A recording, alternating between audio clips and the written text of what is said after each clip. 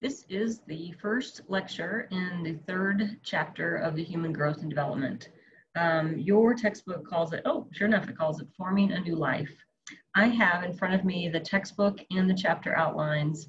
Um, and the reason I'm pointing that out is, is if you're trying to follow the textbook, it's not, the slides don't go exactly um, in the same sequence as the, um, as the textbook. And I'll try to point that out this is the topic or this is the chapter where we get to talk about um, conception and the role of heredity and genes. And for our purposes, we'll have a fairly broad stroke. You can make a whole career out of studying genetics, uh, which is pretty cool, but that's we're not going to go down that road necessarily. So this discussion or this topic, let me move that. This topic is what we call uh, genotype or environmental interaction, otherwise known as behavioral genetics. Um, how do genetics behave? And the, the fine tuning or the deeper understanding of the relationship between genes and the environment. Um, heritability, so, there's so just let's go through some words here. Um, heritability um, is the term given to how much of a characteristic is shared within a group. So like maybe eye color, right? Eye color or hair color. That would be highly hereditary if a lot of people in the same group happen to have that characteristic. So it just suggests how much of certain traits, human traits, can you inherit, um, or how much of them are sort of are, are caused by the environment. There are different ways, and we kind of hinted at some of this stuff in a previous lecture, there are different strategies for how researchers attempt to tease out the distinction between the nature and the nurture, how they attempt to tease out what human traits are uh, grounded in biology or biologically determined and which ones are environmentally influenced. Um, some of those would be family studies, adoption studies, or twin studies. I'm going to start at the bottom because those are the those would be the best would be twin studies, and those would be two, those would be, would be identical, genetically identical twins, not twins who are fraternal, not the phenomena of you have two eggs that fertilize at the same time, but a twin that was, and we'll talk about that on another slide, but a twin that was actually um, twins that were the product of the same egg splitting in two and growing two identical twins. If you could, if in cases where you have two genetically identifiable uh, um, twins, and especially if they're separated at birth. Now, you don't want to do that because that's not really a very nice thing to do. But in that case, you could truly tease out what traits they have in common based on their genes, their shared genetics, and what traits are different based on their different environments. Um, adoption studies are kind of sort of the same thing because the assumption is is that people who are in the same biological family they share a certain percentage of the same traits.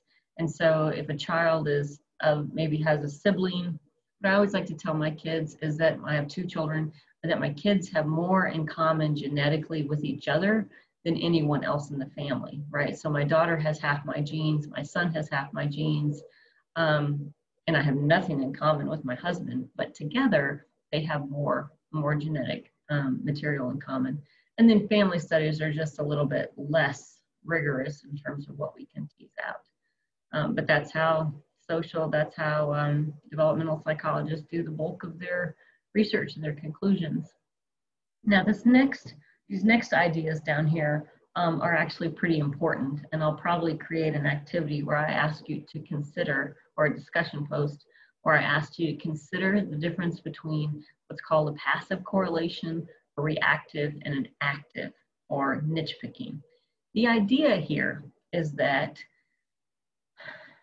all three of these, um, these terms, these concepts, uh, are different ways of describing the relationship between one's genetic inheritance and the role or the relationship of the environment right? What, how does the environment affect your genetic inheritance?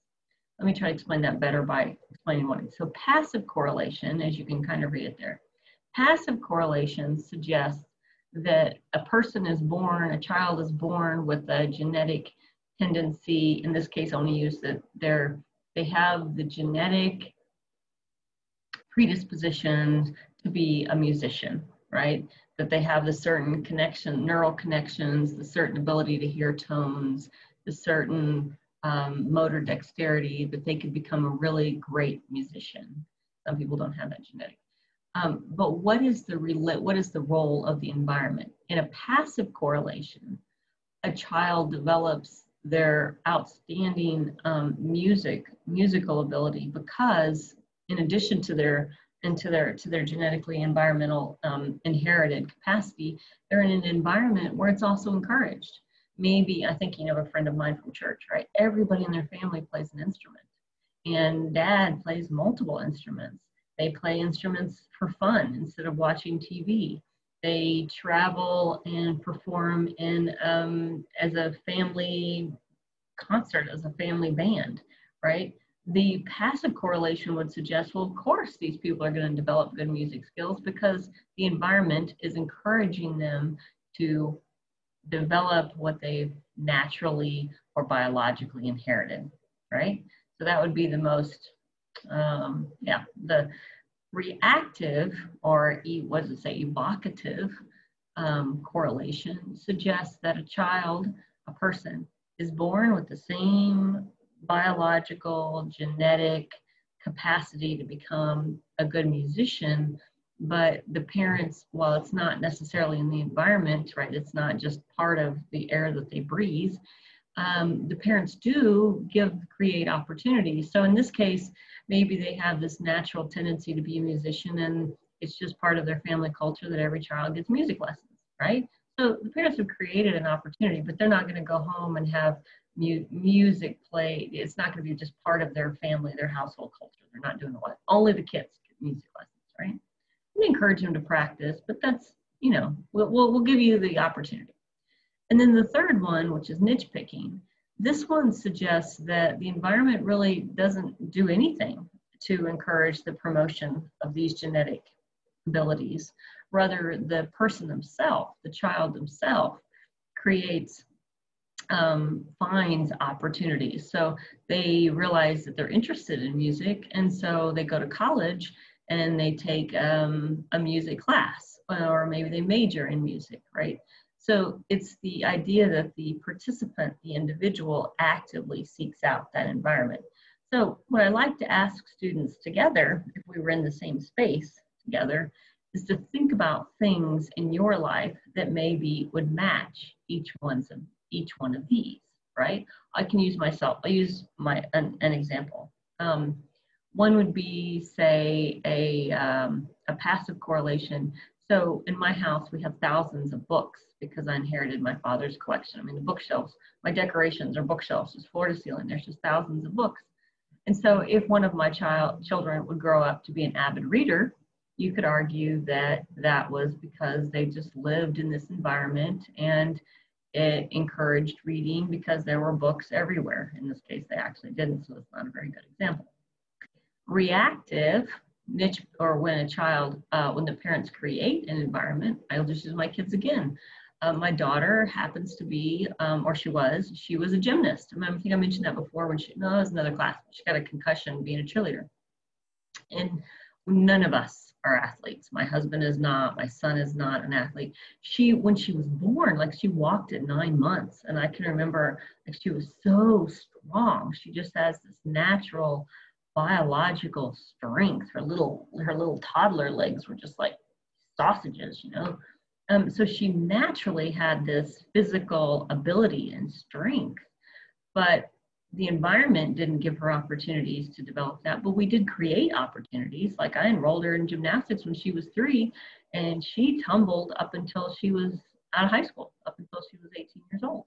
So she, it, that's an example of reactive, right? That that, that we created the opportunity for her to develop um, a trait that she was naturally inclined to have. Niche picking it would be an example of, and I can't think of any good examples of niche picking um, in my personal life, but it might be an example of a child who, well, I guess I can think of one example. Um, a, a, a family I know, they were both in wheelchairs and they adopted a son. They adopted a little boy, and he went on to play football, right? I mean, obviously, the parents are not going to, that's not a good example, but the parents didn't create an environment that encouraged it. Um, I guess maybe if they sign them up, but say he goes off to college or something. Uh, yeah, but, but the idea, I think, hope, hopefully I'm making some sense. Um, but the idea is that you that a person has that genetic ability but it's not until they have the opportunity that they make the opportunity themselves. Trying to think of it, but maybe a better example would be, except that one doesn't have, I was thinking that you grew up in a home where there's no faith tradition and you become a minister, but that's not really the best example either because the assumption is, is you have some sort of biological. So I'm going to sort of stop it. Oh, no, a couple other things I want to point out. Your textbook does make reference. It talks about uh, it talks about this idea, this genetic, this genetic behavioralism over on page, over on page like 65, 64 and 65. Um, and it goes on to offer a couple examples of characteristics that have um, that are known to have an environment and a genetic pre um, a genetic correlation. One, they talk about obesity, intelligence, and temperament and schizophrenia. Well, let's think about obesity, right? Obesity would be uh, people are, are born pro, uh, biologically prone to obesity, but how do you explain um, if, say, your parents are obese but the child is not? Well, one could argue that the parents didn't allow the children to eat the same kinds of, well, that's, that's the example I used to my mom. My mom didn't want me to grow up to fight weight the same way she did. So she was more sensitive to what she fed me when I was a child. She continues to struggle with weight. I'm not like her. I certainly don't struggle like she does. Intelligence would be an example. Actually, intelligence is a really good example. And it suggests that we are born, right? Our brain, the number of folds, the grooves and folds in our brain, you need more surface area to have more neural connections. So you biologically inherit the brain systems that enable you to learn. But if you're kept in a, in a I was going to say cage, if you're kept in a crib or you're uh, all your parents ever do is set you in front of the television and people don't talk to you, then you're not going to develop that natural biological um, tendency, right? How would that be an example of that your parents create? That'd be reactive. Do they create an opportunity for you to express your intelligence?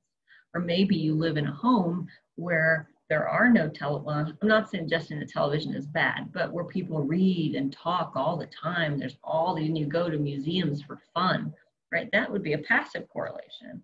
Or maybe you didn't start reading until you, till you moved out of your house and you didn't go to college till you were 30 because no one in your family valued college. That would be an example of niche picking. So you weren't able to develop your intelligence until you could independently make your own choices. Um, temperament, I kind of want to hold off on talking about temperament because it's a really important concept. But temperament is the is one's ability to um, if one's high energy and easy to difficult to calm down, or if they're a little bit more mellow and easy to calm down. And then there's also some evidence, I would add addiction into this. Um, addiction, there is a lot of evidence that says that, that addiction runs in families, that there's a genetic predisposition or biological vulnerability. But if you're never exposed to alcohol, are you ever going to become an alcoholic? On the other hand, I'm going to passive correlation. If you are if you've inherited the biological tendency to be an alcoholic, you live in a home where parents are, you know, alcohol's everywhere and they give you your first drink at 14, you might develop alcoholism. Um, you live in a, or, or reactive here, let's see, you are born with the tendency to overeat and your parents, uh, or maybe, oh, we'll use the alcohol one, you're born with a tendency to become an alcoholic and say maybe your parents never check up on you or never see and never don't even notice that you're drinking when you're 16 and 17 and 18. That maybe would be an example of reactive. And then the active niche picking is you've inherited the tendency, you've inherited the capacity to become an alcoholic, Uh, no one in your family drinks, and you don't you don't drink for the first time till you go off to college. And lo and behold, when you go off to college, you become quite the alcoholic, right? So I, that's really a better example of how these three, how the how the relationship between your genes and your environment, that it's the environment or the idea is that the environment causes the behave the genetics to behave in a certain way. And I think I'm going to stop that right there. And um, okay, I can figure out how to.